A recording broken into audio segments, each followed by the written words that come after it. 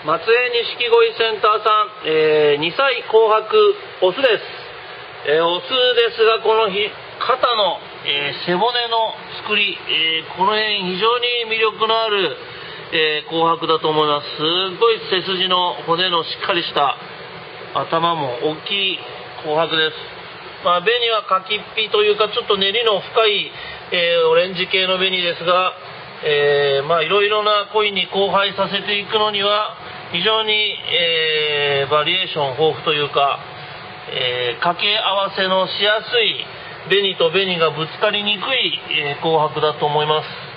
オスです。では横から見てみましょう。はいよはい OK はい、えー